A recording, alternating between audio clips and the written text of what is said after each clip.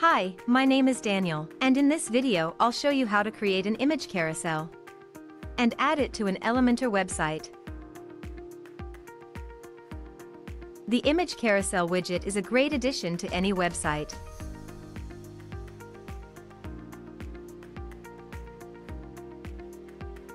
To start, enter Common Ninja website.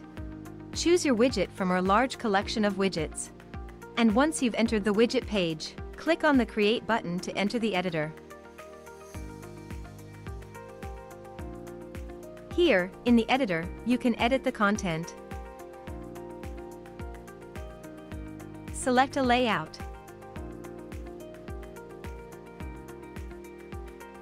Customize the look and feel.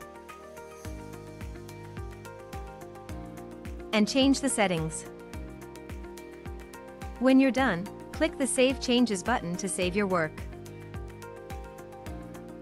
If you don't have an account on Common Ninja yet, you'll have to register first.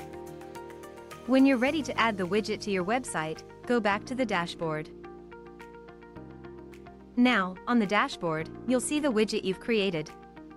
Click on the Add to Website button. In the window that opens, copy the code.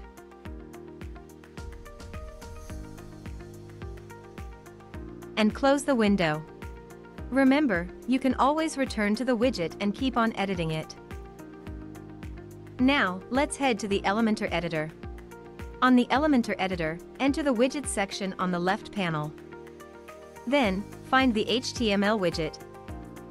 Drag and place it on your page wherever you wish your widget to show. Now, in the HTML window on the left panel, simply paste the code you've copied before. And that's it. Now, the image carousel will show on your website.